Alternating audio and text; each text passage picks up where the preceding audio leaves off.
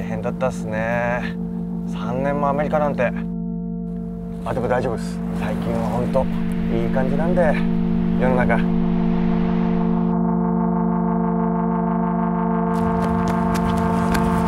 復帰おめでとう。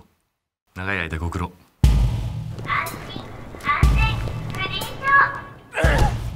駐車料金踏み倒しの現行犯なんですよ。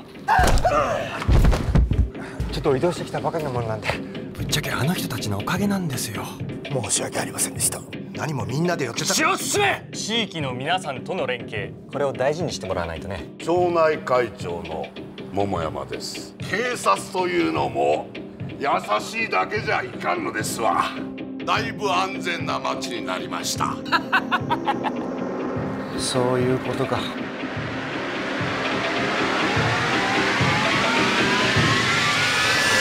無事無視だからリンチして殺すのか犯罪ゼロの町を。そのために警察があるんでしょうが。あいつがさらったに決まってんだよ。この子に何した？どこ行っても同じだよ。もうそういう国なんだよ。ようやく分かった。俺はお前らを殺す